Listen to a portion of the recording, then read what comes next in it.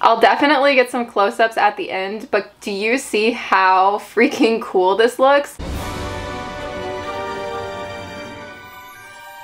So I went to Target and um, I picked up something that I saw online that I thought was really cool and I really wanted to turn into some tarantula enclosures prepare yourself. They're little mushroom bug catcher kits. They're just like a children's toy. And as you see, the top has like this ventilation and then inside it comes with a couple little accessories for like bug catching. I think these are super cute. I actually bought some like extra other bug catcher kits to collect like some lightning bugs and June bugs with Fiona. So, but these ones I bought specifically to turn into some tarantula enclosures. So yeah, I went and I was lucky enough to be able to grab four and let me just say that apparently they're constantly being sold out because everybody keeps buying them because they're so cute. But you can't actually like find them on their online for some reason. I tried finding them online before I went up there to see if they had them and I just could not find them on their website at all. Come to find out, I don't think they put dollar spot things on their website. But what I did is somebody commented in a group, the DPCI, which is like the number you use to look it up, I guess, on Target's end to see if they have them in store. So if you do want to go get some of these and like recreate this video, the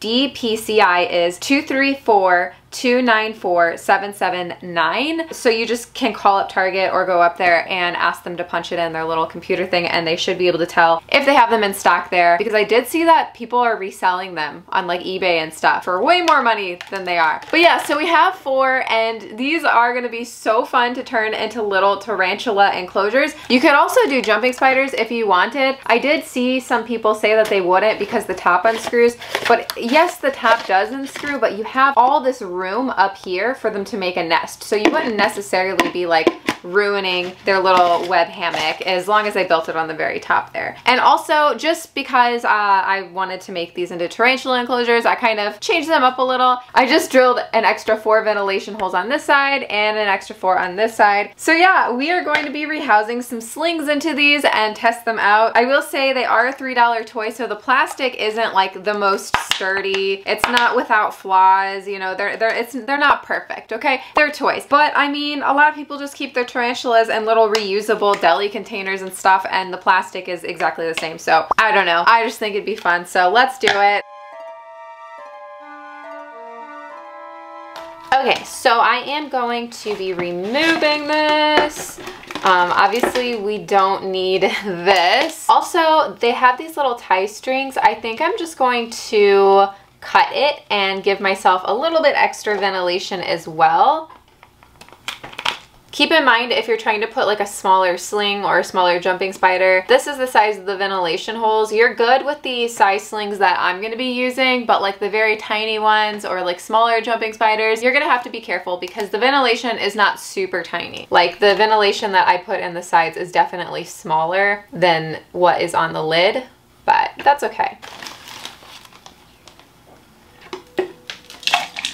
Make sure you pack it down so I'm gonna go ahead and put in a piece of cork in each one of these. And I'm also going to put in a little bit of frog moss, which this frog moss, as you can see, is like growing already, which is awesome. And of course, we're going to do leaf litter in each one. So I'm gonna go ahead and set all these up and then we will meet back here and discuss what they turn out like.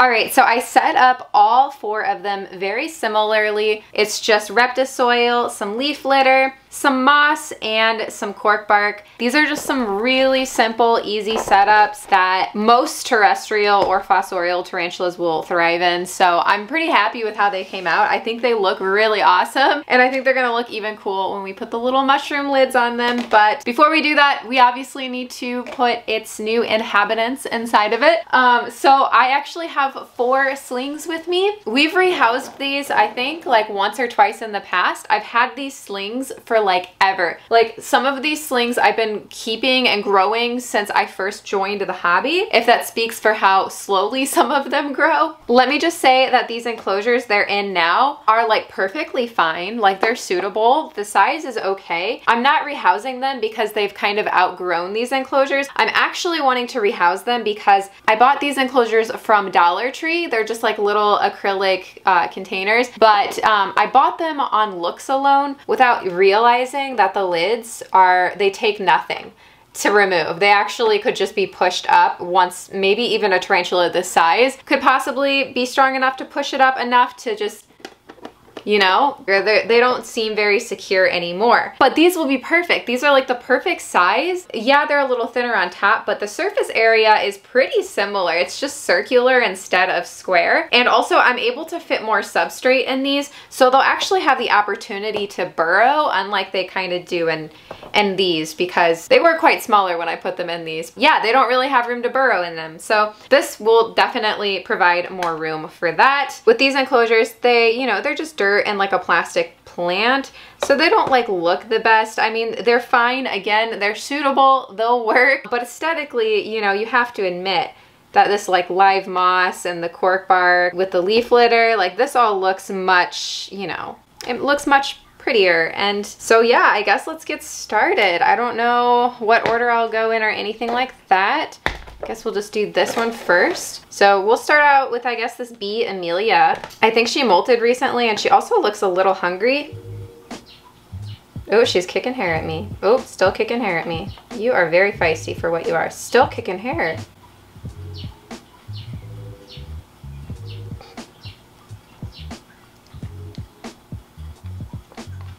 All right, we've got her in there.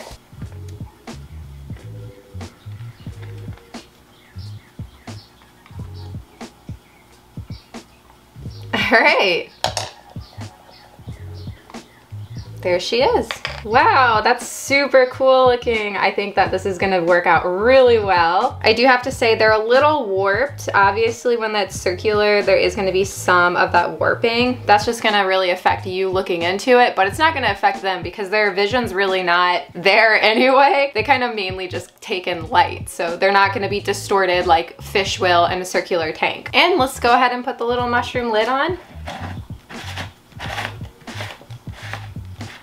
Oh my god, this is adorable, you guys. I'll definitely get some close-ups at the end, but do you see how freaking cool this looks? Oh my god, now I'm regretting only buying four of these, but I can't even imagine where I would put more, so it's fine. But like, oh my god, this is so cool. Let's keep going, let's keep going. Next up, who we got? Oh, so this is a T. sabulosum. This is actually a pretty feisty little tarantula. If you guys didn't know, they're very much like vagans. And I can see that this one molted not long ago, so yeah.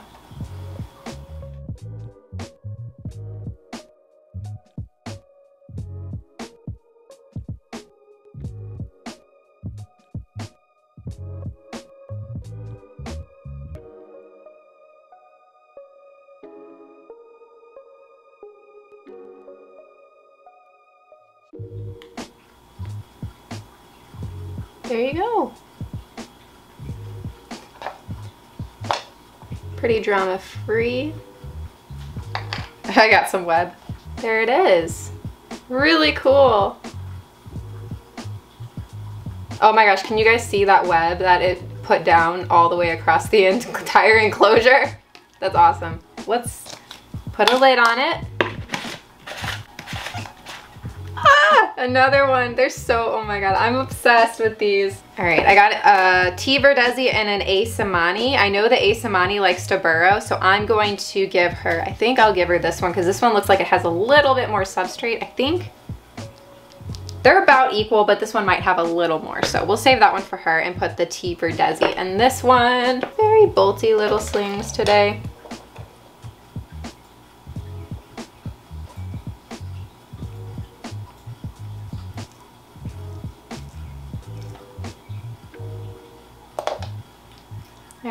my tea. Look at that bum. I think I tried feeding this one last week and it wouldn't eat, so I'm pretty sure it's gonna molt soon.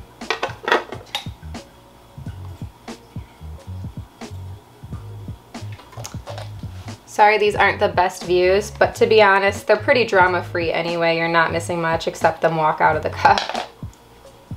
The first one so far was the most dramatic.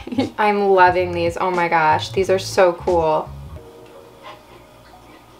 I bet this one might actually enjoy burrowing as well.